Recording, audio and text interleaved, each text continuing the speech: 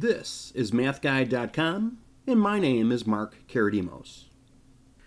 This video will derive the power rule. So what does the power rule say? Well, we'll get there.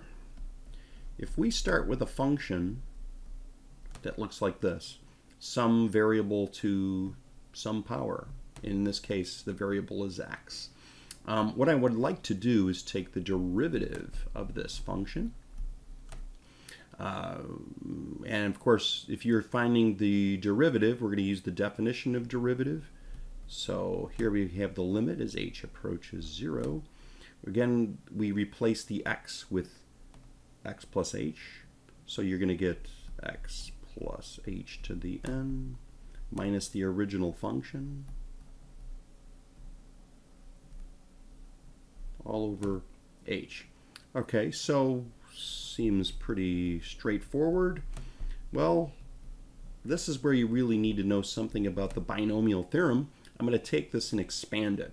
So you would get x to the n um, plus, you're going to get, uh, let's see, how does this go? You're going to get n x to the n minus 1h um, as our first term, or actually our second term and we're going to keep going. So our next term would be n, n minus 1 times x to the n minus 2 um, times h uh, squared. And of course this would all be over 2. Okay, and so on. We're going to keep going down the list all the way to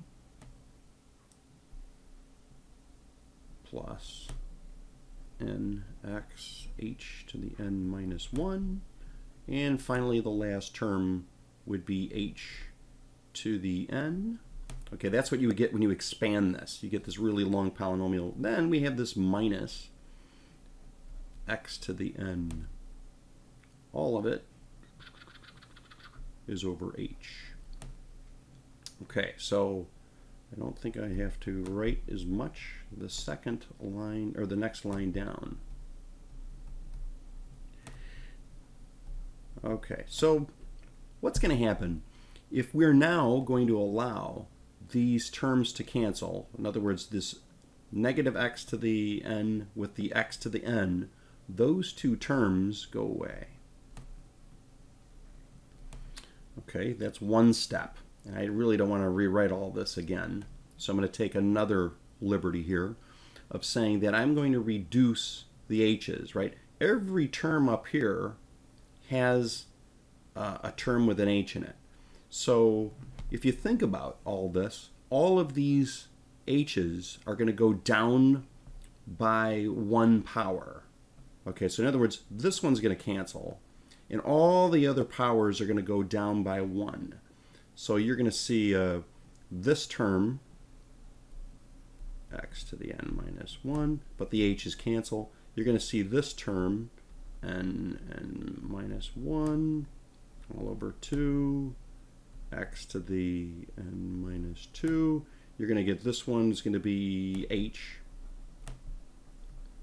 dot, dot, dot. And this one's going to have uh, one less h in it. So let's see, this is going to be n x h to the n minus 2, oop, n minus 2. And then here, this is going to be h to the n minus 1. Pretty easy to see. Of course, we're taking the limit of all of this, right? The limit of all of this as h approaches 0. Now, if h is approaching 0, this term, all the terms, see, all of these terms have an h in them. So if you're going to take a 0, multiply it by whatever is around it, right? That's, this whole term is going to be a 0.